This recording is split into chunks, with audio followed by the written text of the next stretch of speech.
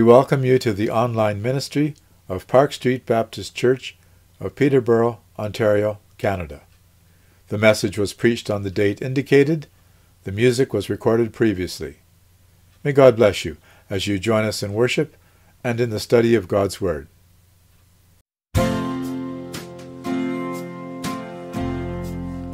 All who are thirsty, all who are weak, come to the fountain. Dip your heart in the stream of life. Let the pain and the sorrow be washed away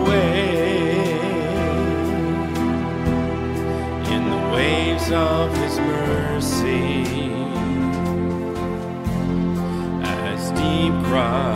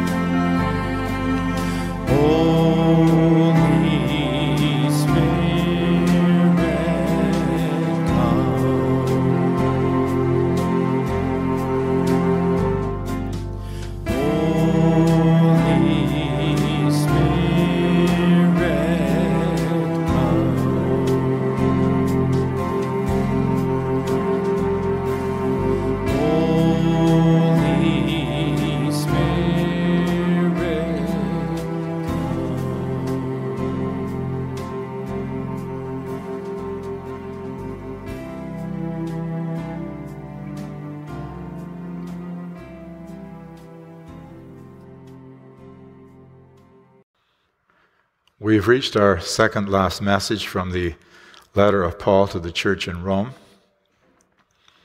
Throughout this series, I've been following Steve Gregg's thought that this letter was written to deal with friction between the Jewish believers and the Gentile believers. And last week, we saw Paul's suggestion for relieving the tension between the groups. While the Jews were learning to break free from the restrictions of the Old Covenant and their traditions, the Gentiles were to be patient and not to flaunt their freedom under the New Covenant.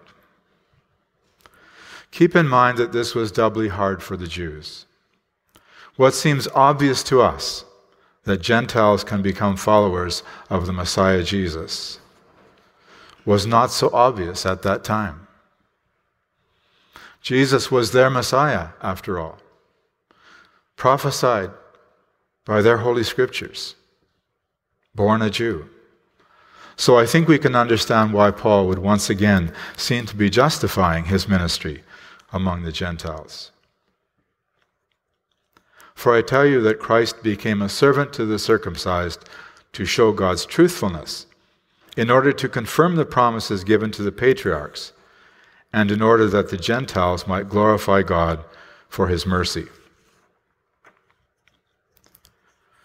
When we think of Jesus, we often think of him as Lord and King. And he is our Lord. He is our King. But Paul reminded them that Christ became a servant.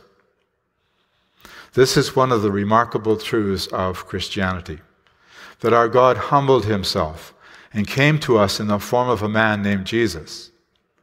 He became a servant of the circumcised, that is to say, the Jews.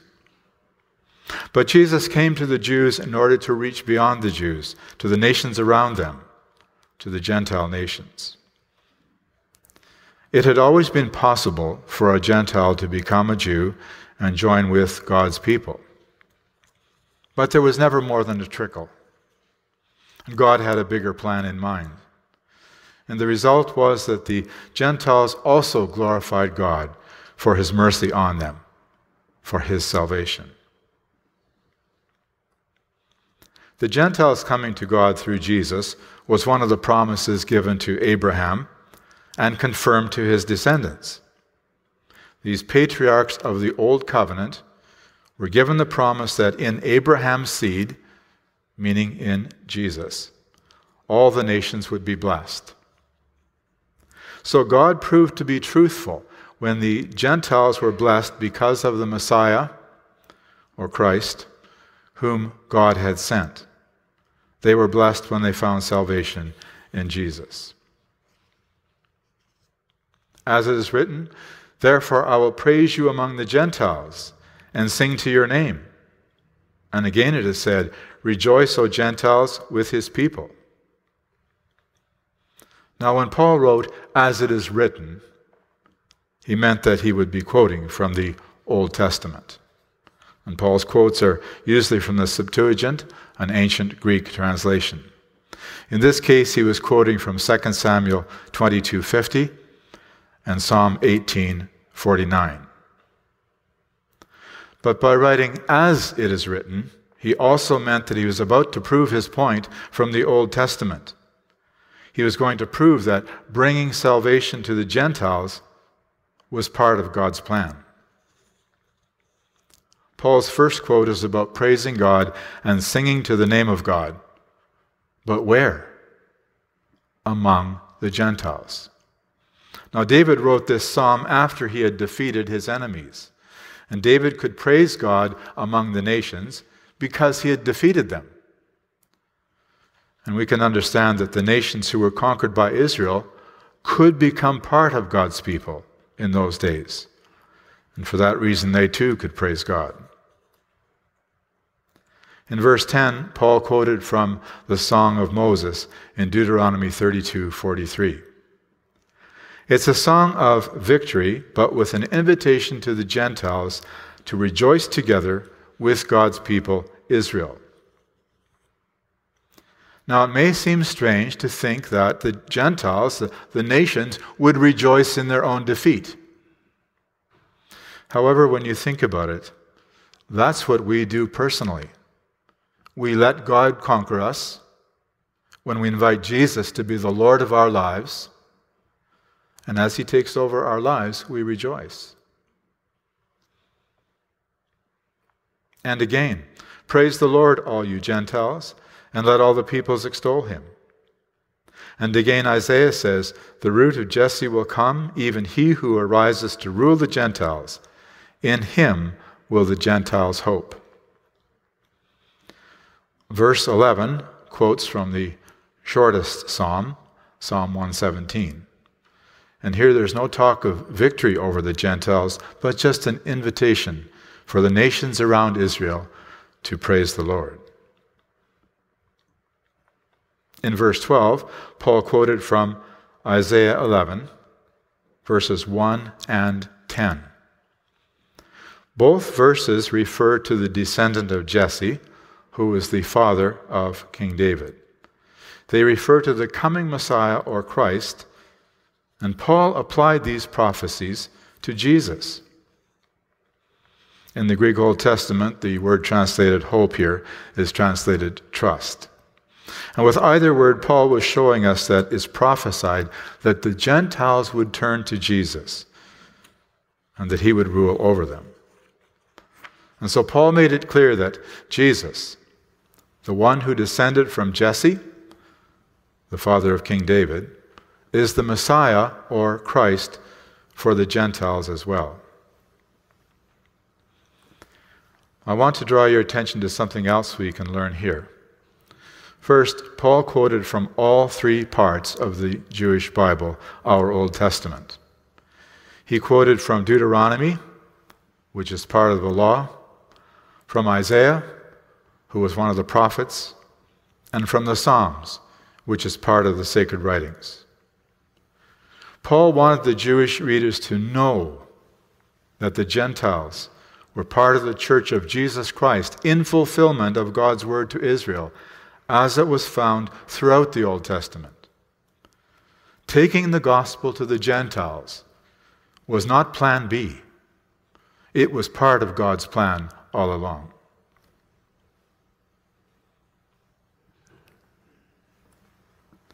There's something else I want to draw to your attention.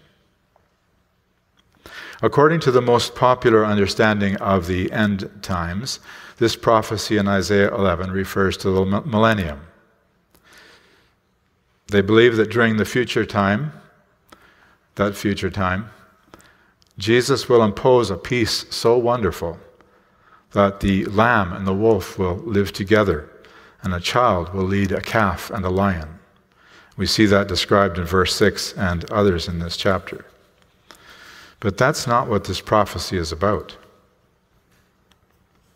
Notice that this wonderful, peaceful time is prophesied between verses 1 and 10. This entire prophecy, including that wonderful peace, was and is fulfilled already when the peoples or the nations, meaning the Gentiles, come to Jesus. Remember that Jesus is the shoot coming from the root of Jesse. So, if this isn't about a future millennium, then what's the connection between a peaceful time and the Gentiles coming to Jesus? I think it was Steve Gregg who made the point that in many Old Testament prophecies, the Gentile nations are pictured as dangerous wild animals, threatening God's people. So Isaiah described peace with the Gentiles happening when God tamed them. God would tame the dangerous nations who were the enemies of God's people under the rule of the Messiah, the descendant of Jesse. And Isaiah's prophecy is already fulfilled in the church since Jesus' first coming. Since the 11 apostles and Paul first preached the gospel to the Gentiles, countless Gentiles have been brought, in, brought under the lordship of Jesus, the Messiah. We've become part of the Israel of God, which is how Paul describes that in Galatians chapter 6. To use Paul's picture from Romans 11, those of us who are Gentiles have been grafted like wild olive branches onto the domestic Jewish olive tree. Now, speaking of taming wild animals, I have no doubt that in the resurrection, when God gives us new bodies and puts us on a new earth, all the animals will be tame. But this prophecy, is about the Gentiles coming to Jesus Christ, their hope. May the God of hope fill you with all joy and peace in believing, so that by the power of the Holy Spirit you may abound in hope. Referring again to hope, Paul wrote that this blessing to the believers in Rome, wrote this blessing to them, most of whom were Gentiles. His blessing was that the God of hope would fill them with joy and peace. And that joy and peace would come through believing. Please be careful here with this word believing. This doesn't mean that our belief creates joy and peace in us. That kind of idea, the idea that if you just believe, it will happen, that's something quite popular in our day. Adults and children, too, are taught that they can be or do whatever they want if they just believe in themselves. Now, there is some worldly advantage to having confidence. But Paul was talking spiritually. Spiritually, believing in ourselves is useless. If we want real joy and peace, they will come through the power of God, the Holy Spirit. And so, Jesus, the Messiah, the Christ whom God has sent, He is the one to believe in. In Him, we will have an abundance of hope. I'm, I myself am satisfied about you, brothers, that you yourselves are full of goodness, filled with all knowledge, and able to instruct one another. But on some points I've written to you very boldly by way of reminder. Here, Paul declared himself to be satisfied about the believers in Rome in three areas. First, that they were full of goodness. We would want that said about us. And second, they were filled with all knowledge. It seems that most of them knew the gospel well. The third's a little more difficult. Paul wrote that they were able to instruct one another, which makes it sound like they were all able to be teachers. But as we've seen in other scriptures, not everyone should be teachers. Besides, if they were all teachers, who would be the students? The more usual translation for the Greek word instead of instruct is admonish. It has the idea of gently correcting someone for their behavior or their conduct. And we all need that at times.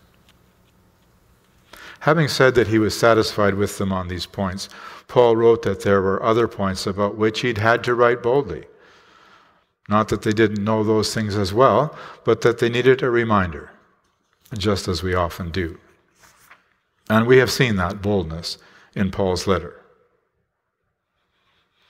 But on some points I've written to you very boldly by way of reminder, because of the grace given to me by God to be a minister of Christ Jesus to the Gentiles in the priestly office of the gospel of God, so that the offering of the Gentiles may be acceptable, sanctified by his Holy Spirit. He continued by explaining why he had written so boldly. Because he was a minister to the Gentiles. He corrected the Gentiles, of course, but he had to care for them by boldly correcting the Jews.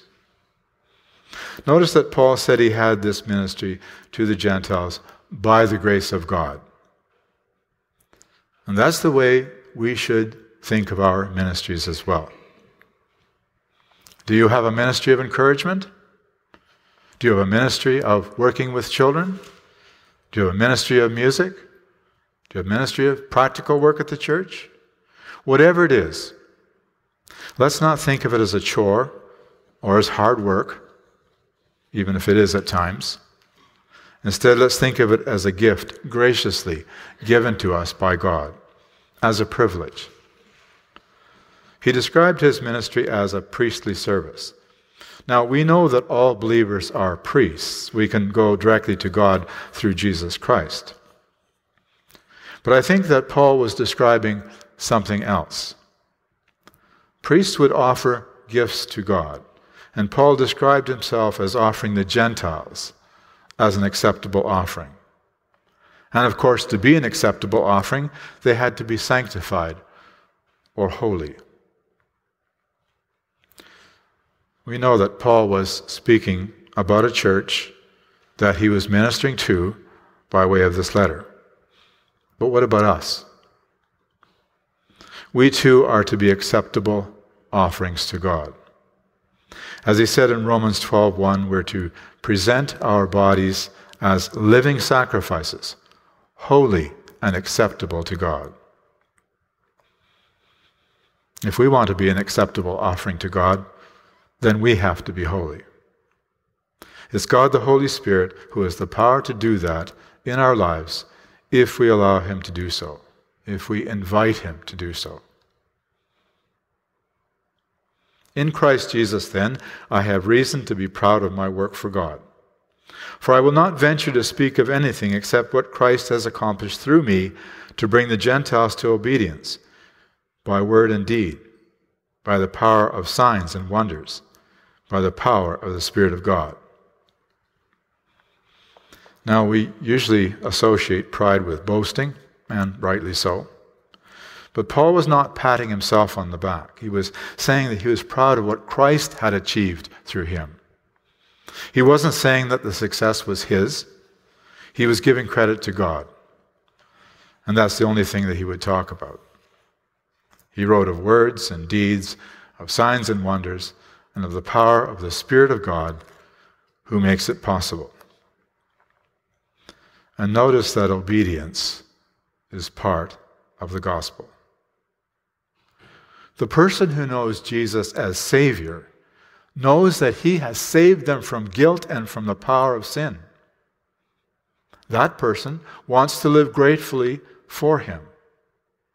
And the person who knows Jesus as Lord knows that He has the right to tell us what to do and how to live.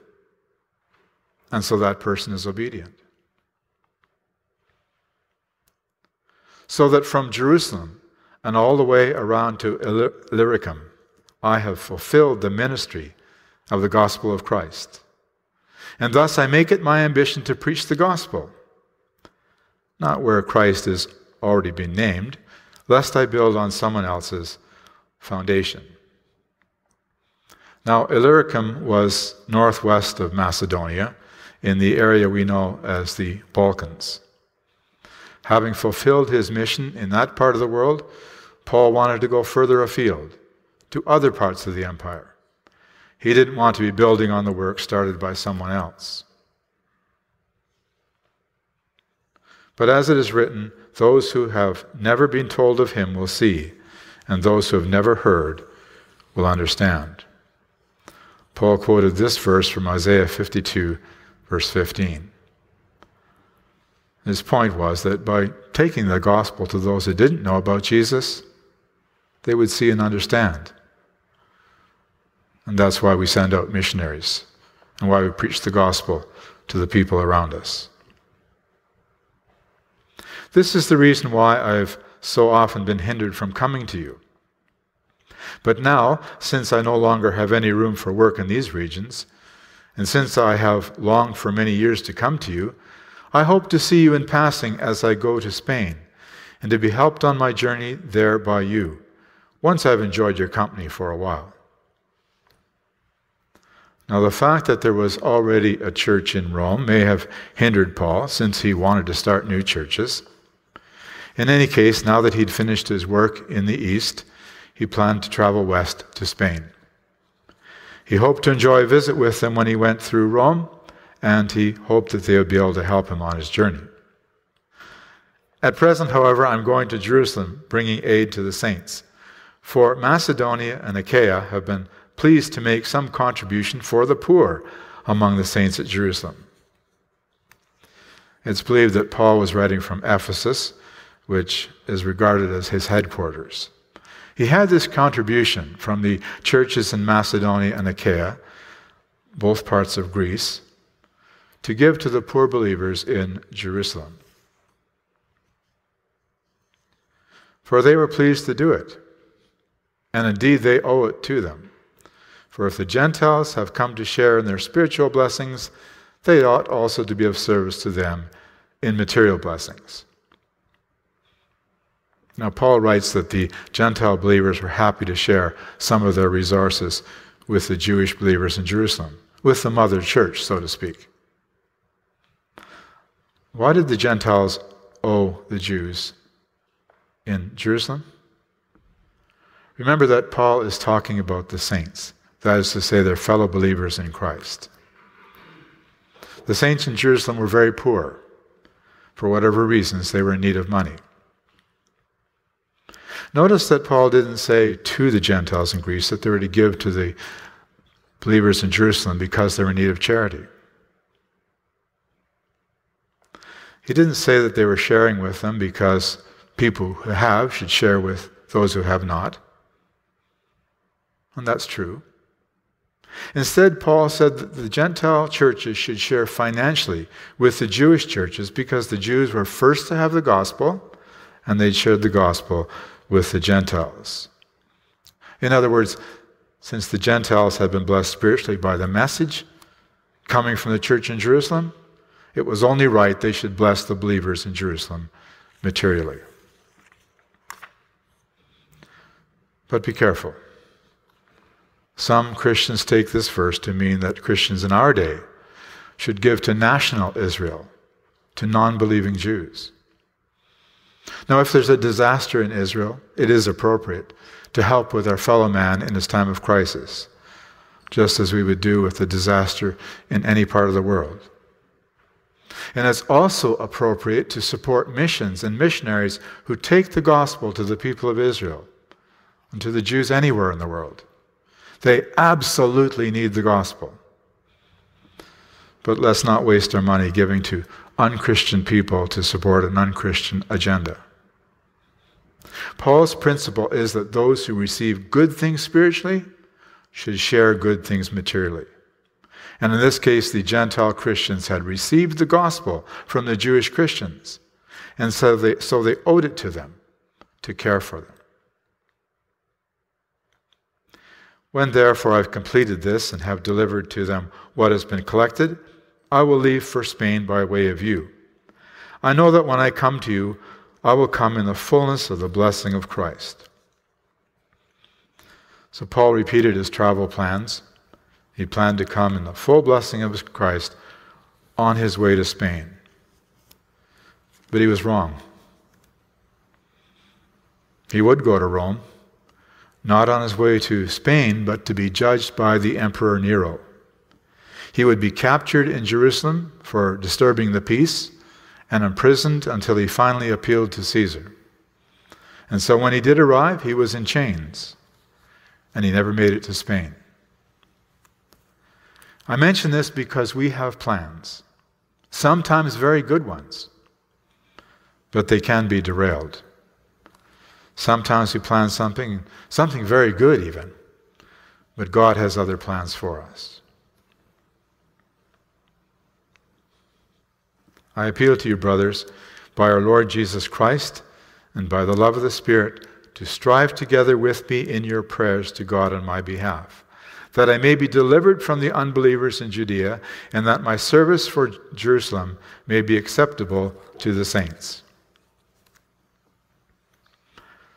Paul wanted them to pray for him and with him. He considered that to be striving or working together with him. Our prayers on behalf of a ministry are a way of working for that ministry, as Christian missions and missionaries would, would agree. Paul's prayer would, was that he would be delivered from unbelievers in Judea, where he was headed Instead, he was harassed by the Jewish leaders and eventually turned over to the Roman authorities. So that prayer wasn't answered with a yes. And Paul also wanted them to pray that the monetary gift he was taking to the believers in Jerusalem would be acceptable. I was surprised by that request. I have to think that if their contribution wasn't acceptable, the problem would not be with Paul, the messenger, or with the givers so that by God's will I may come to you with joy and be refreshed in your company. May the God of peace be with you all. Amen. Paul wanted their prayers so that he would be able to go with them or go to them with joy, and that he would be refreshed or encouraged by their company. Notice that he prayed that, that it would happen by God's will. And that's not a bad thing to pray. It's a recognition that we can get it wrong. It's possible to pray something for ourselves or others that's not really a part of God's plan. And he closed the body of his letter with a benediction that the God of peace would be with them, And notice that he didn't pray that God would make their situation peaceful, but that but the God of peace can give us peace, peace of heart in difficult situations. Let us pray. Our Father, we see that Paul was much like us, that he had good plans for ministry, but you had other plans. Help us to submit to your will for our lives, and help us to rest in your peace, whatever may be our situation. We thank you in Jesus' name. Amen.